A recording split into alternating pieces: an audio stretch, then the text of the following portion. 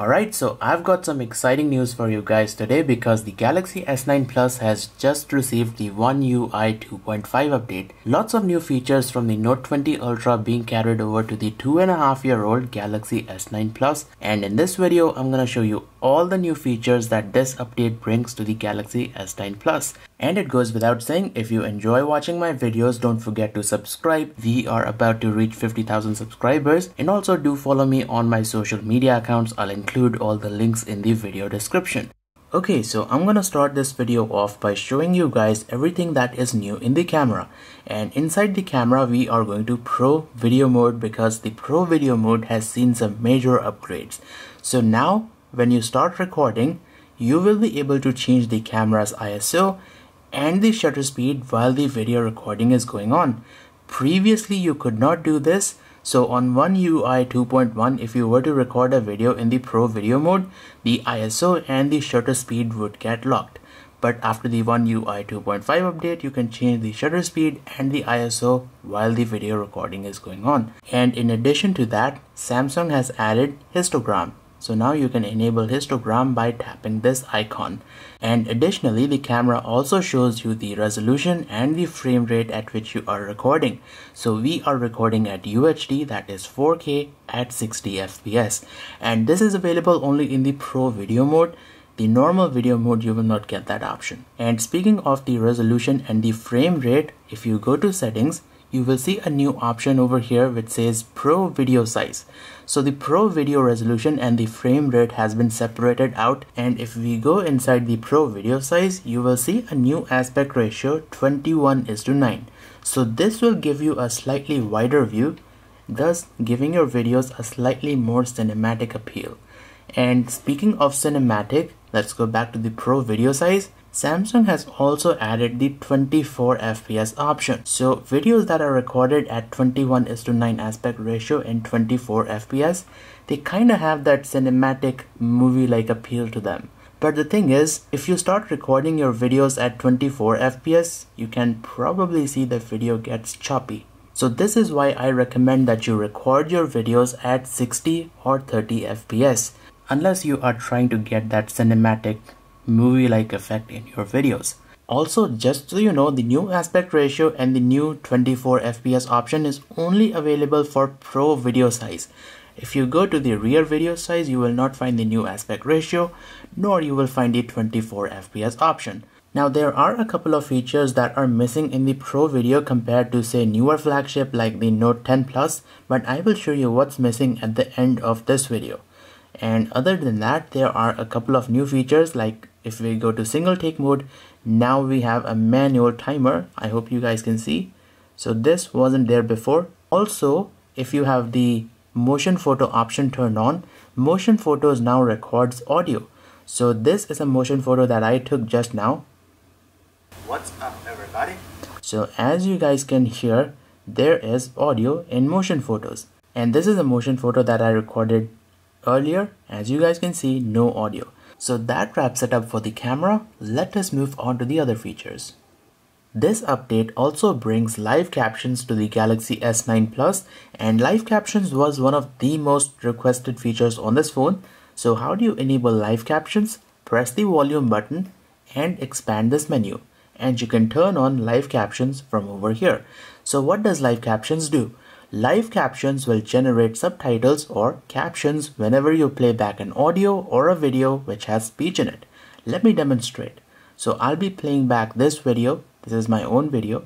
And you guys will see the phone will generate subtitles. Up the TV to the PC, something ain't right. The picture quality is not what you expected. And so as you guys can see, the phone is generating subtitles or captions in real time. And you can place this bar wherever you want. So this is a super useful feature. It will allow you to understand what the person is saying in the video without actually turning up your volume. And yes, it also works for audios. If you play back an audio in the audio player, the phone will display captions, but it doesn't work for music because if you play back music, it's just gonna show the music is playing back.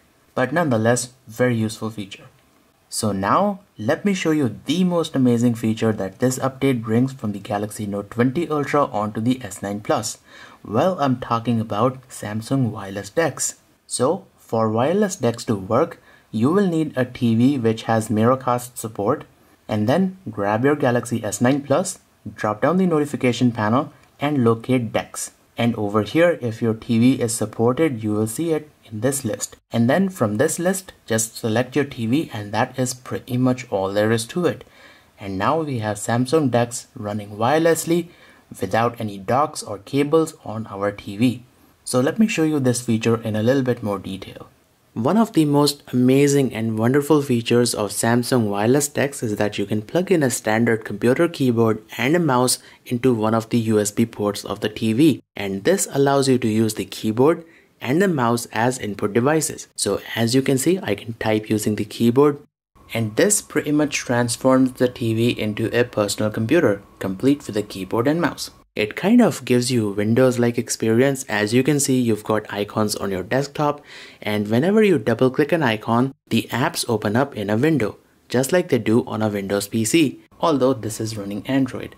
And this is actually true multitasking happening on the phone. Keep in mind this is not running on the TV. All of the applications are on the phone and they are all open together simultaneously and you can work on any one of them, have them open side by side and they appear just like applications do on a Windows PC. And while you are using Samsung DeX, the screen of the phone is off. So it's not like the screen is turned on all the time when you are using DeX. But the thing is you can turn the display on and the phone is fully functional. So you can do stuff on your phone as well as use wireless DeX. So if I want to make a quick phone call, I can do that. Just grab the phone, hit the power button, make a phone call and that is it. And this shows you how capable the phone really is even though this is a two year old phone with only 6 gigabytes of RAM. Amazing, right? And you can do pretty much anything you wish. Like for example, you can give presentations, create documents, text your friends over Snapchat, or show your photos and videos on a big screen. Also, when I was playing back this 4K video, there was no stuttering, no lag or any frame drop. So that's a good sign. So you can also use the DeX functionality to show photos and videos on a big screen. And also whenever you play back a video or an audio file, the audio will actually play back on your TV speaker, not on the phone. Exceptions. For example, check this out. So this is my So that's a good thing. And if you have a home theater plugged in into your TV, the sound will actually play back on the home theater. So this will let you enjoy music on big speakers and just so you know my home theater does not even come with Bluetooth built in. So the audio is getting transferred from the phone to the TV wirelessly and then from the TV to the home theater system. So this is actually one of the coolest features ever. Now, if you have an LG TV that comes with one of these magic remotes, you can use the magic remote as a mouse.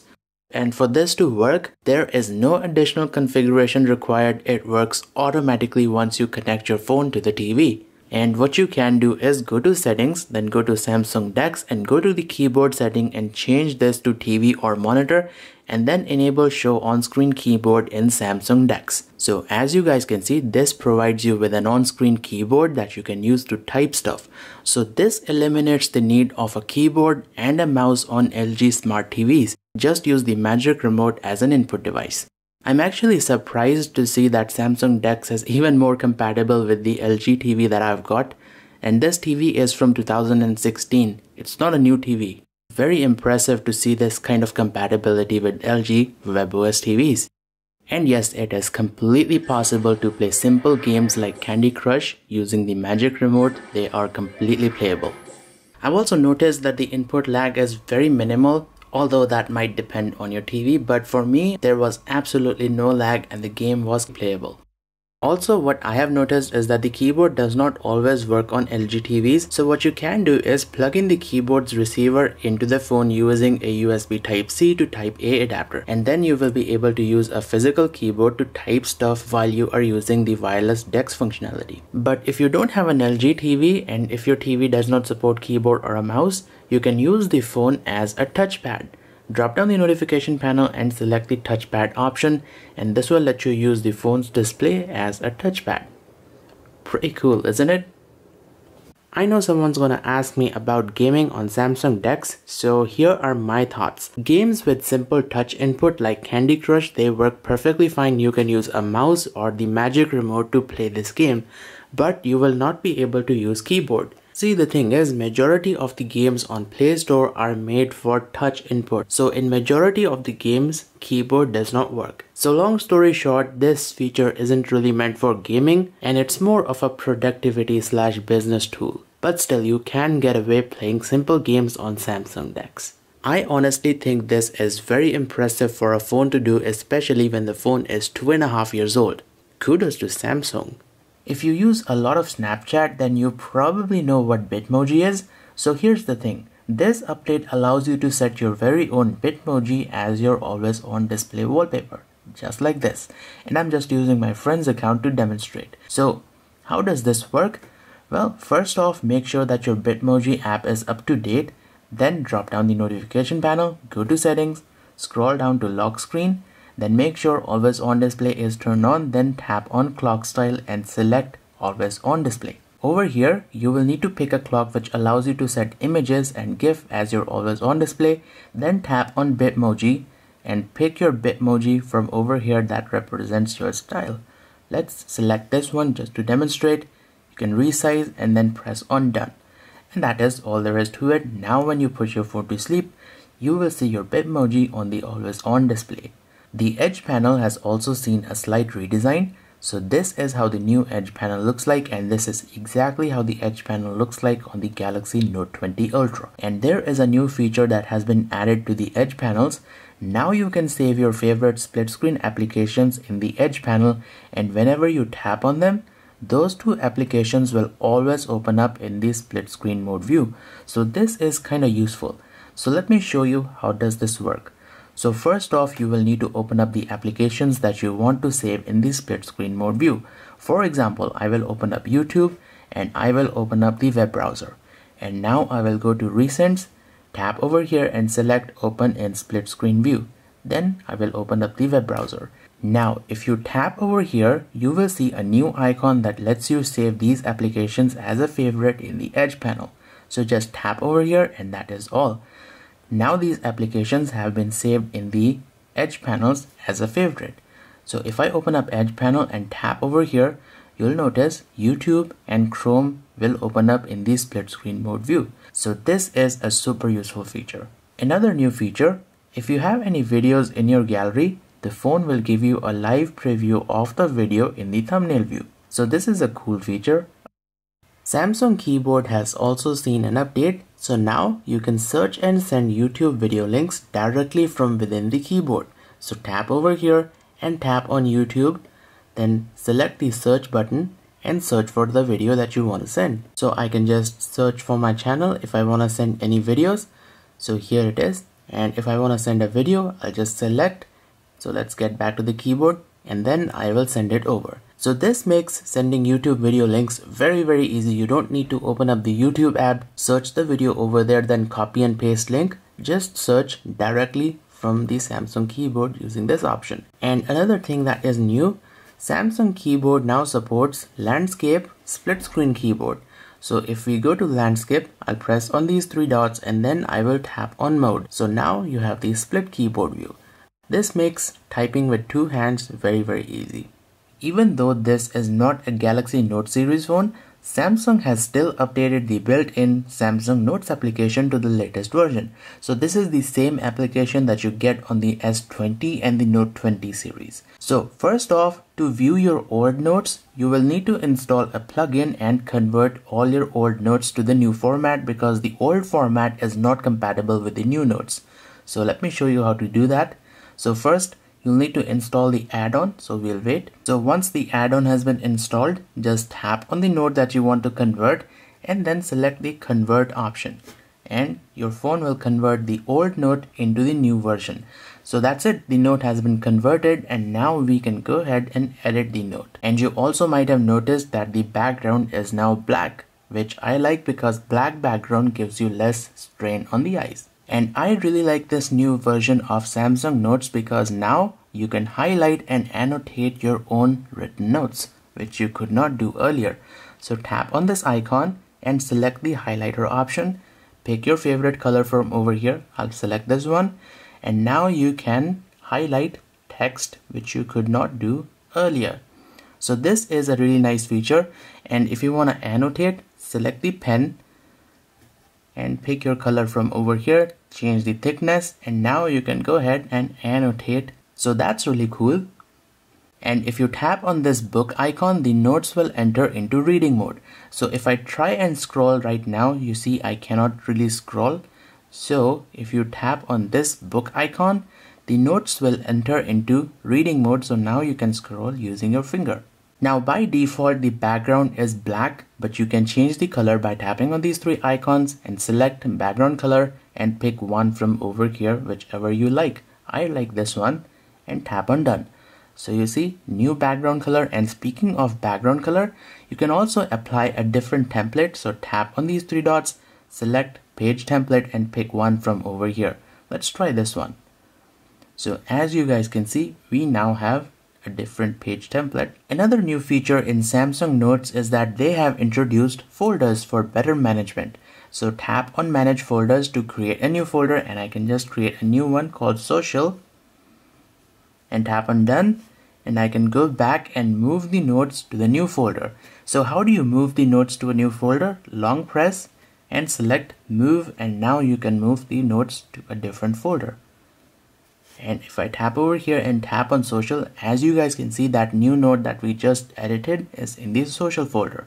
And you can also create a new note by tapping over here.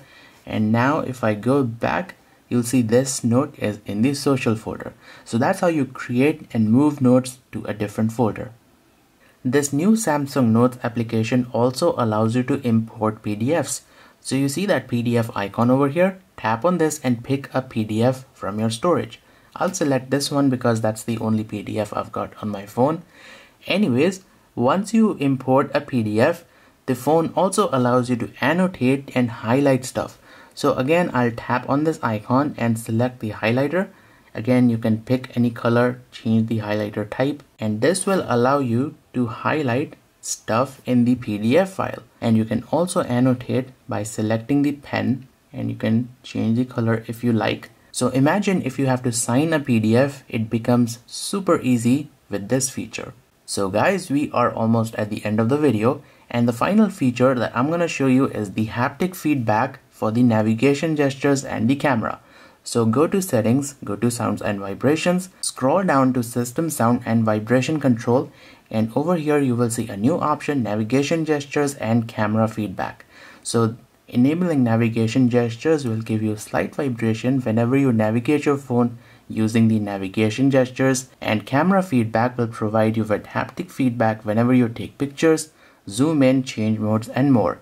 So these two are new. So what is actually different with the One UI 2.5 updates Pro video mode on the Galaxy S9 Plus versus say a new flagship the Galaxy S10 Plus? Well, glad you asked. Let's launch cameras on both of these phones and we will go to the Pro video mode. So first off, you can see there is no audio meter on the Galaxy S9 series. This is kind of a useful feature. I use it on my main camera to measure how is the audio input like. And secondly, if you scroll over here, you will see this microphone icon.